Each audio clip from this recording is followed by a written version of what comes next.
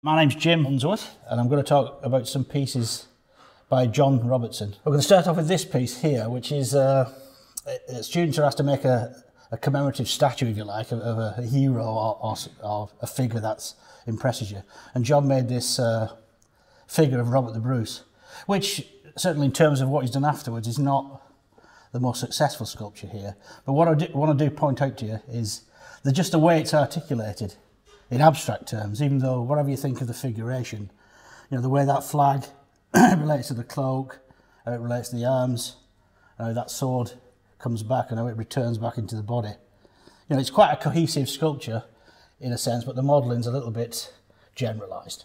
What I'm going to move on to next is this piece here, which is a, you'll probably recognise it, it's a deconstructed and then reconstructed wooden chair, which is again is a, is a set project within this course. But uh, I sort of wanted to draw you to the sort of visual similarities that maybe the Robert the Bruce figurative sculpture had, just in, in the nature of how the planes are working together and how some of the uh, symbols are sort of referencing the figure in this one, otherwise known as corporality, i.e. to do with the body. That's what we sort of term things like that when we talk about sculpture.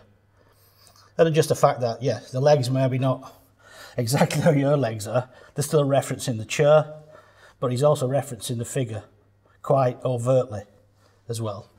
Uh, now, the next uh, sculptures we'll look at, it, you know, hopefully you can all see a sort of thread developing, and you'll see that hopefully developed even more into, in these two pieces, which I, I feel again have got, have both got a, a corporal feel to them. You know, they've got sort of heads, limbs and protrusions like, like people have, they stand up and yeah, they have a presence in the world, which you know sculpture should have really.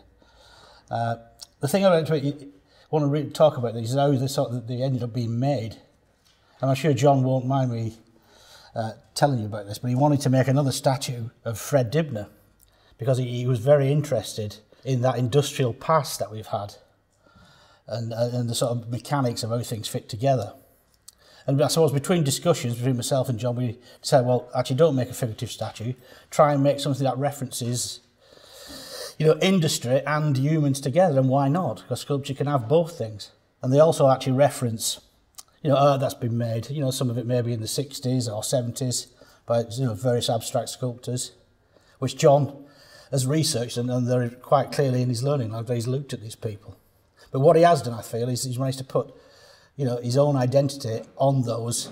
He's used them, but he's actually taken them somewhere else and he's put his own interests on them.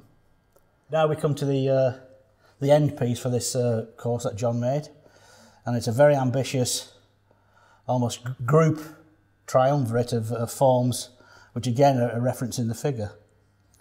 Uh, set up in, in, where they could relate to each other as architecture, buildings and things, and ladders and levels or as humans.